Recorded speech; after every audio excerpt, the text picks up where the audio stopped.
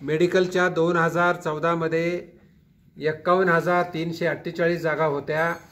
आता एक लाख सात हजार नऊशे अठ्ठेचाळीस झाल्यात. एकशे दहा टक्क्यांनी वाढल्यात. मेडिकल कॉलेज तीनशे सत्याऐंशी होते दोन हजार चौदामध्ये. आता सातशे चार झाले. ब्याऐंशी टक्क्याची राईज आहे मोदी साहेबांच्या काळामध्ये.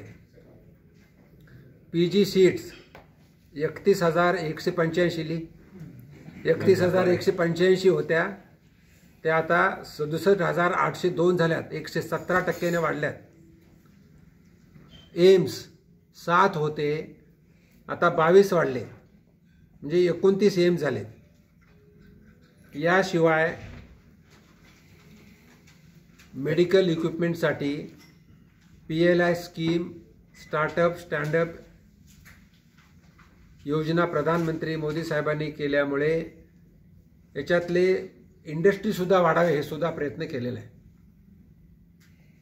आणि आयुष्यमान भारत सारखी स्कीम त्यामध्ये पाच लाखाचं इन्शुरन्स गोरगरीब नागरिकांना दिल्यामुळे पन्नास कोटी जनतेला याचा फायदा होणार आहे. पन्नास कोटी.